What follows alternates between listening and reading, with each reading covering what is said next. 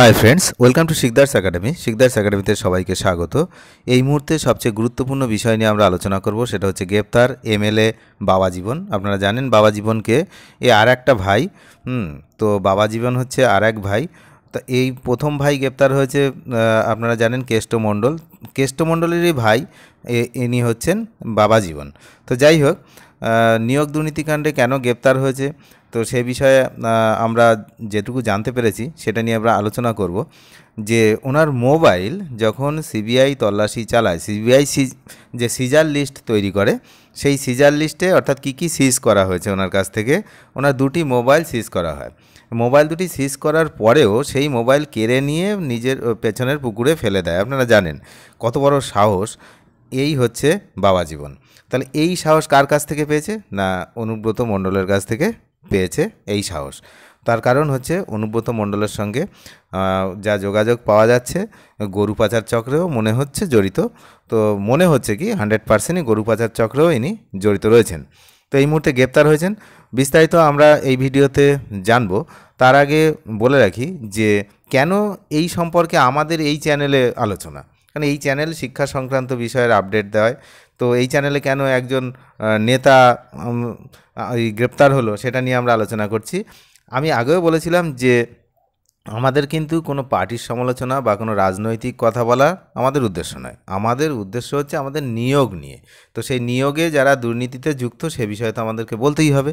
তো পাঁচটি জেলার পাঁচটি জেলার চাকরি প্রার্থীদের ডিটেলস ছবি তারপরে তাদের অ্যাডমিট কার্ড কারও কারোর মার্কশিট তারপরে হচ্ছে কে কত অ্যামাউন্ট দিয়েছে, প্রায় তিন হাজার আটশো তিন হাজার আটশো চাকরি প্রার্থীর নাম পাওয়া গেছে টাকা সহ। তার মানে প্রায় আনুমানিক এই মুহূর্তে প্রায় তিনশো কোটি টাকার কেলেঙ্কারি ধরা পড়েছে। এটা কিন্তু সাময়িক। আমি কি বলছি? এটা সাময়িক। এটার পেছনে আরও অনেক আছে। এই কটা নথি মাত্র পাওয়া গেছে। আরও নথি কত নষ্ট করা হয়েছে তার কোনো ঠিক নেই। তো গ্রেপ্তার হয়েছেন? চলুন বিস্তারিত আমরা এই ভিডিওতে দেখে নিই। পঁয়ষট্টি ঘণ্টা তল্লাশি, জেরার পর অবশেষে সিবিআইয়ের হাতে গ্রেপ্তার জীবনকৃষ্ণ সাহা। অবশেষে গ্রেপ্তার করা হলো তৃণমূলের বিধায়ক জীবনকৃষ্ণ সাহাকে। সোমবার ভোর রাতে প্রায় পাঁচটা বেজে পনেরো মিনিট নাগাদ জীবনকৃষ্ণকে গ্রেপ্তার করা হয়। এর আগে তার বাড়িতে তল্লাশি চালায় সিবিআই। মোবাইল খুঁজতে পাশের পুকুর তোলপাড় করে ফেলা হয়। একটি মোবাইল মিললেও দ্বিতীয়টির সন্ধান পায়নি তদন্তকারী সংস্থা। শেষে তথ্য প্রমাণ লোপাট ও তদন্তে অসহযোগিতার জন্য গ্রেপ্তার করা হলো জীবনকৃষ্ণকে তাহলে আপাতত এই, এটার জন্যই গ্রেপ্তার হয়েছে যে তথ্য প্রমাণ লোপাট ও তদন্তে অসহযোগিতা। সেটা করেছে, সেটা সবাই দেখতে পাচ্ছে যে অসহযোগিতা এবং তথ্য প্রমাণ লোপাটের জন্য নিজের মোবাইল ফেলে দেওয়া হয়েছিল। যাই হোক, সিবিআই সূত্রের খবর মিলেছে, গ্রেপ্তারির পর তাকে নিয়ে যাওয়া হবে সিবিআইয়ের দুর্গাপুরের শিবিরে। সেখানে তাকে তার স্বাস্থ্য পরীক্ষা করা হবে। তারপরই কলকাতার দিকে তাকে নিয়ে রওনা দেবেন সিবিআই আধিকারিকরা। শুক্রবার সন্ধ্যায় শুরু হয় নাটক। রবিবার বিকেলেও তা অব্যাহত থাকে। জিজ্ঞাসাবাদ চলাকালীন নিজের দুটি ফোন পাঁচিল ডিঙিয়ে এসে বাড়ির পেছনের পুকুরে ফেলে দিয়েছিলেন বড়ার বিধারক জীবনকৃষ্ণ সাহা।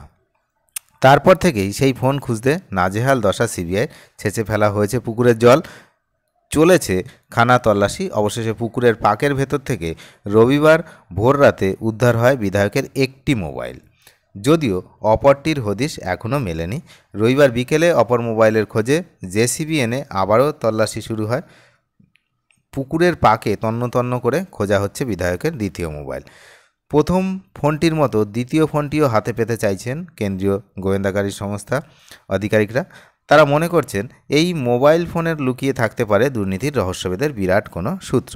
সেই কারণে বিধায়ক বিধায়ক তিনি তার মোবাইল ফোন দুটিকে পুকুরে ছুঁড়ে ফেলে দিয়েছিলেন। সূত্রের খবর, গ্রামবাসীরাও এদিন পুকুর থেকে মোবাইল ফোন উদ্ধারের চেষ্টায় হাত লাগান। এই গ্রামবাসীরা এখন হাত লাগাচ্ছে ঠিকই, কিন্তু কিছুদিন আগে এনার বিরুদ্ধে একটা কথা বলতে সাহস পায়নি। তার কারণ এই যে এত বড় দুর্নীতি যদি কারোর বাড়ির পাশে হয়, তারা নিশ্চয়ই সেটা জানে। যেমন অনুব্রত মণ্ডল ছিল, তার আশেপাশের লোকজন অ্যারেস্ট হয়ে যাওয়ার পরে কথা বলতে পারবে, তার আগে নয়। তো এখনও এরকম অনেক ব্যক্তিই রয়েছেন, যেটা ক্রমশ প্রকাশ্য হবে বলে আমাদের মনে হয়।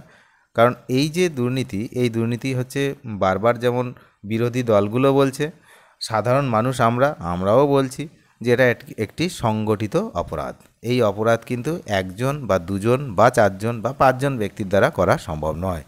এটা পুরো একটা সিস্টেম না হলে, একটা করাপ্টেড সিস্টেম না হলে এই রকম করাপশান করা সম্ভব নয়।